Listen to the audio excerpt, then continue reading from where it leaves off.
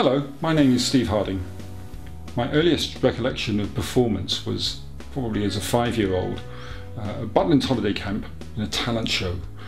Uh, can't remember whether I won it or not, probably not, but I've still got the photographs to prove that I was there. Uh, school career was probably full of uh, little bits of plays, uh, orchestral work, uh, singing, music, uh, but my ambitions pretty much lay elsewhere in, uh, in science, engineering, uh, and military service. Some 37 years later, I find myself in front of the camera again, uh, this time pursuing a third career, uh, revisiting acting, and maybe, maybe a second childhood. In my class, you will learn to think for yourselves again. You will learn to savour words and language, no matter what anybody tells you. Words and ideas can change the world. I see that look in Mr. Pitts' eyes. Yeah, like 19th century literature has nothing to do with going to business school or medical school, right? Maybe. You may agree and think, yes, we must study our Mr. Pritchard and learn our rhyme and meter and go quietly about achieving other ambitions. Well, I have a secret for you. Huddle up. Huddle up.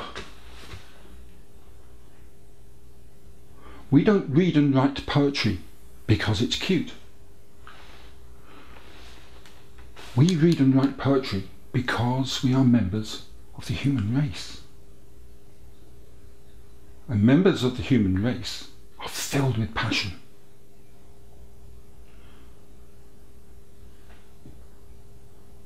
Medicine, law, business, engineering. These are all worthy pursuits necessary to sustain life. But poetry, beauty, romance, love, these are the things that we stay alive for. To quote from Whitman, O me, O life, of the questions of these recurring, of the endless trains of the faithless, of the cities filled with the foolish. What good amid these? O me, O life. Answer? That you exist and life exists and identity that the powerful play goes on and you may contribute a verse. The powerful play goes on and you may contribute a verse. What will your verse be?